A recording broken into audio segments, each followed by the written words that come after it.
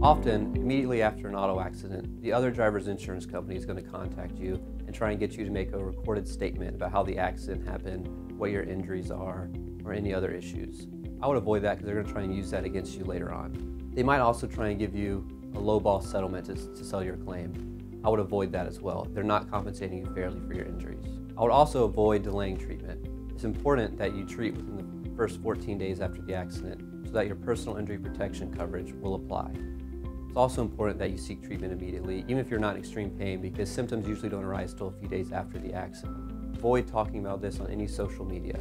Don't post about how the accident happened, what your injuries may or may not be, or anything else. Just avoid talking about it completely. Avoid speaking with the other driver who hit you.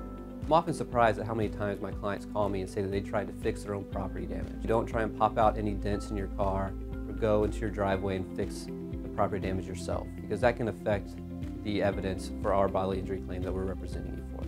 Seek a qualified attorney as soon as possible so they can help guide you through the process. Call us at 1-800-BURNETTI. Thanks for watching.